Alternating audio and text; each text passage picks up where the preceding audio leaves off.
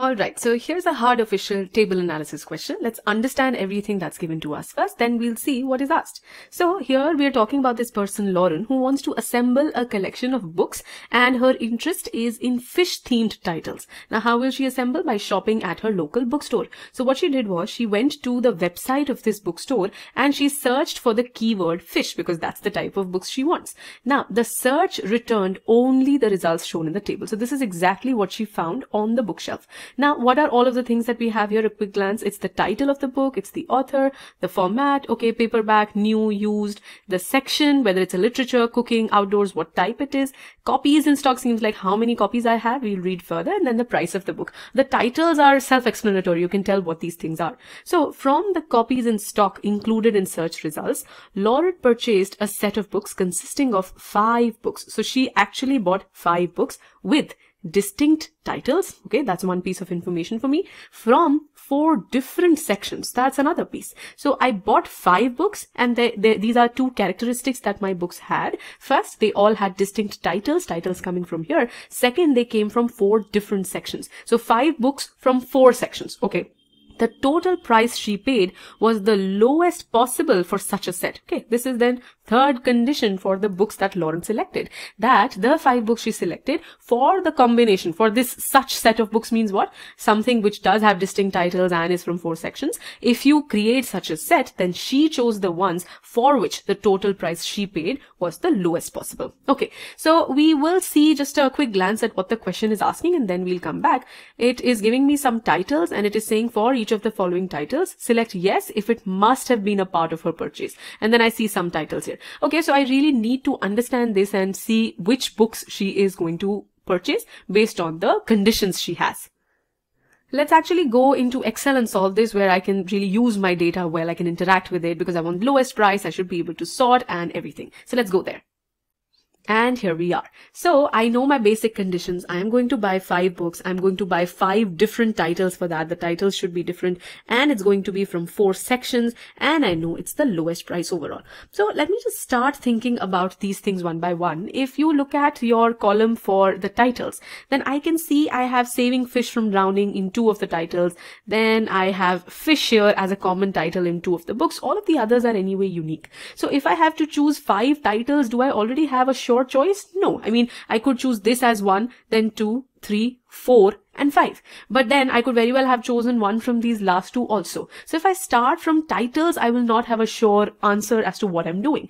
Next, if I think about sections, then how many sections do I even have? I'll just quickly sort this so that all of a single type come together.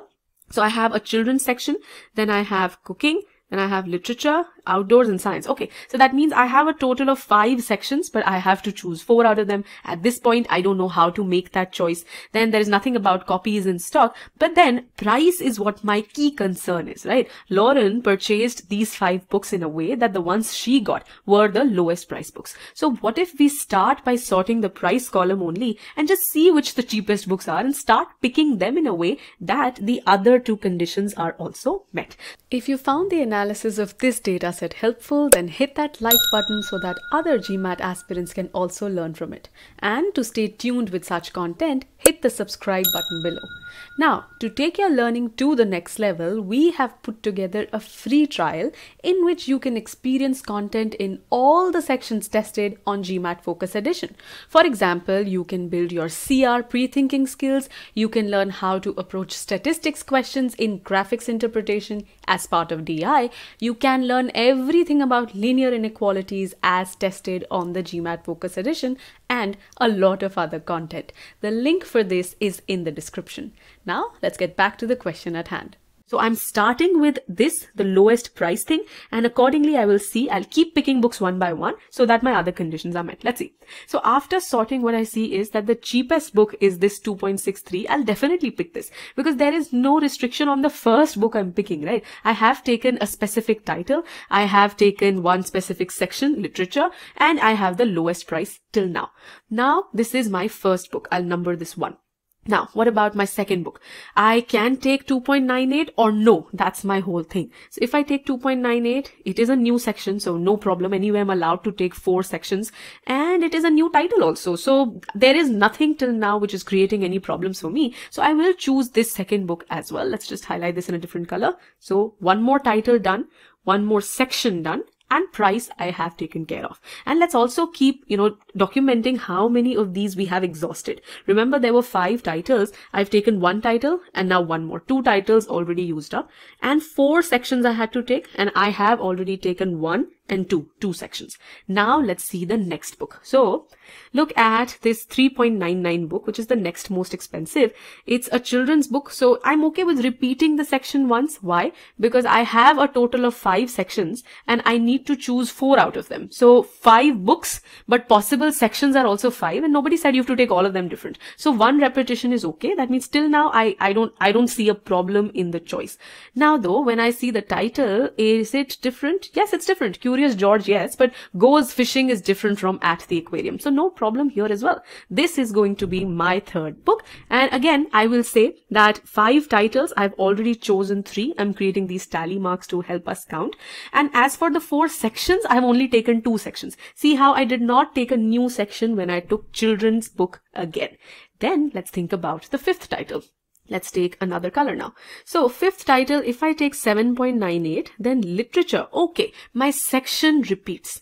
If I use, think about it, if I have taken four books and two come from a single section, literature, other two come from a single section, children, which are, which I already have done, then the fifth book, if I take something different only, then a different section, it will still be a total of three sections only which I am not okay with. That means I cannot select this as my next book. Actually, it also tells me I cannot repeat any more sections. If I've already repeated the children's section twice, then all of the others have to be distinct. Since I have five sections only in total and I want to select four out of them, I can only repeat one. So wherever else I see repetition, I will be able to reject that. Do I have any more children or literature? No. Well, anyway, that didn't happen.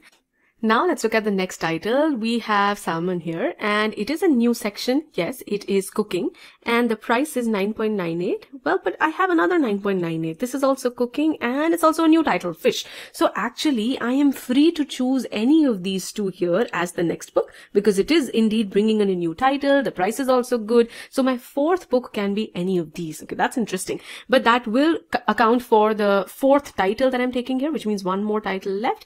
And it is also the third section. So let's mark three here. One more section to go after this. Now, if one more section to go, that means I cannot repeat anything. Anyway, we know we can't repeat anything. So the next one, which is cooking here, the fish book, it's out for two reasons actually, section and the title. What if I end up choosing fish here? But well, I could have chosen salmon. This anyway still gets rejected because of the section repetition. So this way I have talked about the fourth book I'm going to choose and I cannot choose both of them because they will repeat the section. So only one of them will be there. Now finally, if we think about the last book we have to pick, I have a new section as needed here. Now I have new titles in both of them. Price wise, it's the 19.95 which is better, but wait, what is this? Copies in stock. Notice in all of the other cases, we did have a book to choose from. The copies in stock, they were always positive. But this one, I don't even have it in stock, even if it's giving me a better price. This is also a very important column. You have to keep your eye on it.